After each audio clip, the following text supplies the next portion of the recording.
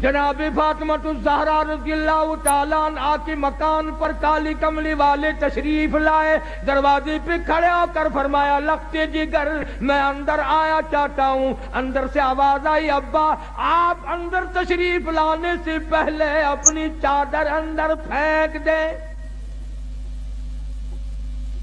سمجھ گئے، تنگی ہے، چادر پھینک دی، تشریف لائے۔ پوچھا کیا بات عرض کی، ابا، اتنا کپڑا بھی نہیں ہے جو اپنا بدن چھپا سکوں۔ مدنی کریم صلی اللہ تعالی علیہ وسلم تشریف لائے، سید فاطمہ تو زہرا نماز پڑھتی پڑھتی گر پڑی مسلح پہ۔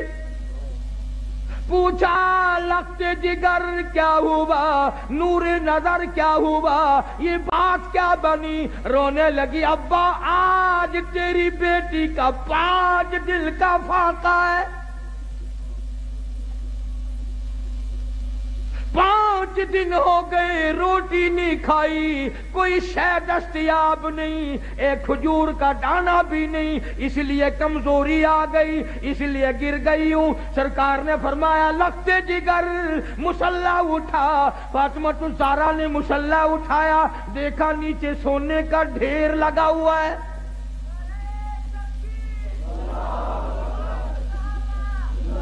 فرمایا، بیٹی جتنا سونا چاہ اٹھا لو، پر یاد رکھو، اس کی ذمہ داری بھی، اس کا جواب بھی قیامت میں دینا پڑے گا۔ خدا کی قسم، پیغمبر کی لگتے جگر نے سونے پہ تھوک کر مسلح ڈال دیا۔ میں اس سونے کا کیا کروں گی؟ جناب مدنی کریم صلی اللہ علیہ وسلم کے بہترین سارے صحابہ کے سردار صدیق اکبر دوپہر کے وقت مدینہ پاک میں مسجد نبوی میں دھوم میں بیٹھے ہیں۔ فاروق آدم آئے، پوچھا ابو بکر، ابھی تو نماز کا وقت نہیں ہوا، ابھی سے کیوں بیٹھے؟ فرمایا، فاروق دو دل کی بھوک نے بےتاب کر دیا۔ فاروق آدم فرمانے لگے، اپنا بھی یہی حال ہے۔ تین دن کی بھوک نے تنگ کر دیا، میں بھی گھر سے نکل آیا۔ جناب مدنی کریم، سب کہہ دو، صلی اللہ علیہ وسلم تشریف لائے۔ ان حضرات سے وجہ پوچھی، انہوں نے بتا دی، حضور کی آنکھوں میں آنسو آ گئے۔ فرمایا، ابو بکر، آج تیرے نبی کا پانچ دن کا فاقہ ہے۔ ابو ایوب انصاری رضی اللہ تعالیٰ عنہ کے مکان پر تینوں حضرات تشریف لے گئے۔ پتہ چلا کہ ابو ایوب انصاری مکان پہ نہیں ہے۔ گھروالی نے کہا گھروالا نہیں ہے تو گھروالی تو ہے۔ تشریف رکھیں آپ۔ کھانا پکایا، سامنے رکھا۔ آپ نے ایک روٹی پہ سالن رکھتے ہوئے فرمایا، پانچ دن کا تو میرا فاقہ ہے۔ میری فاطمہ کا نہ جانے کتنے دنوں کا فاقہ ہے۔ پہلے یہ روٹی اسے پہنچا کے آؤ۔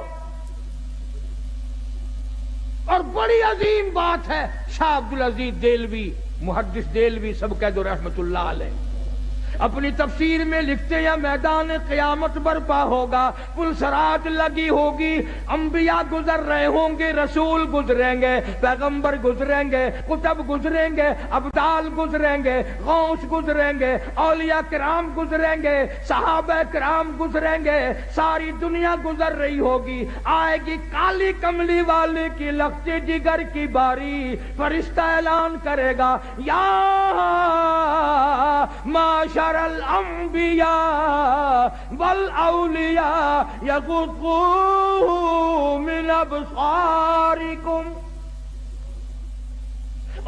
آدم صفی اللہ، اے نوح نجی اللہ، اے ابراہیم خلیل اللہ، اے اسماعیل صفی اللہ، اے موسیٰ کلیم اللہ، اے عیسیٰ روح اللہ، اے یوسف علیہ السلام، اے یعقوب علیہ السلام، او سارے نبیوں، رسولوں، صحابہ کرام کی جماعت، قطب قطبوں عبداللہ عبدالقادر جیلانی بہاب الحق ذکریہ ملتانی، علی احمد حجویری معین الدین چشتی اجمیر میری بابا فرید، تمام کے تمام اپنی نظریں نیچی کر لو۔ اس لیے کہ خاتون جنت پل سرات سے گزرنے والی ہے۔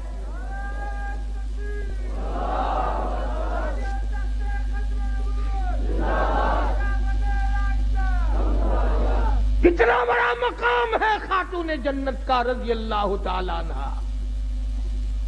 جو قرآن کریم کی اتنی ماہر تھی بیمار ہیں۔ سیدنا علی مرتضی سب کا جو رضی اللہ تعالیٰ عنہ کو بلایا، فرمایا، علی، میرا انار کھانے کو دل چاہتا ہے۔ گھر میں پیسہ نہیں۔ سوچا، لاؤں گا۔ باہر سے کوئی آیا اور اس نے ایک، حضرت علی نے ایک انار لا کے دے دیا سیدہ فاطمت الزہرا کو۔ ابھی کھایا نہیں، دروازے پہ کسی فقیر نے آ کے دستک دے دی۔